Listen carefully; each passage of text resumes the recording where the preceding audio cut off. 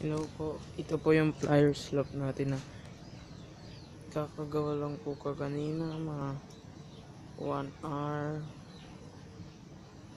1 hour. Ito po yung malaking kalaw malaking log na pwede pong ilan. Gagawan ko pa po siya ng tambayan nila sa loob na yan dyan sa tambayan nila dyan tsaka po dito. Ito po yun.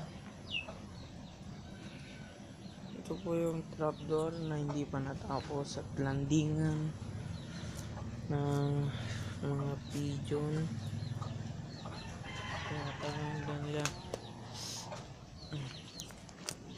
Meron po tayong dalawang hens at dalawang babaeng pigeon ito po yung dalawang lalaking pigeon natin. At yun po yung dalawang babae natin. Yun na po yung tubigan nila.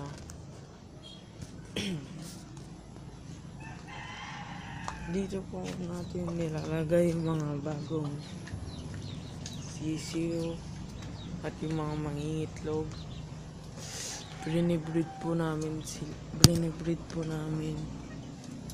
Yun. Ah babae na 9 days at dito po natin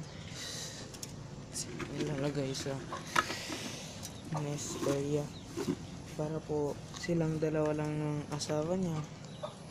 Ang pwedeng maaring magtambay dito para po hindi po si hindi po maistorbo ng ibang kalapati ang mag-asawang nagkakastahan.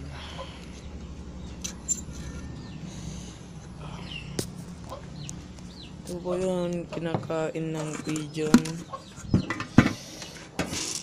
Pigeon natin na nasa 23 23 kada kilo.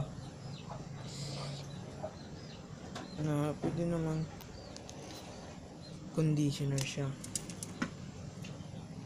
Ito po yung ginawa ko ginawa kong kainan nila. Ito po masyado pong madamit lang po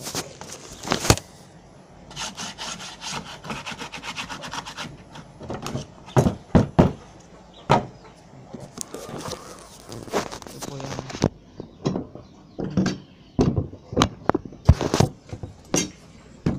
Ano po ang yung mga gamit ng um, kalapate.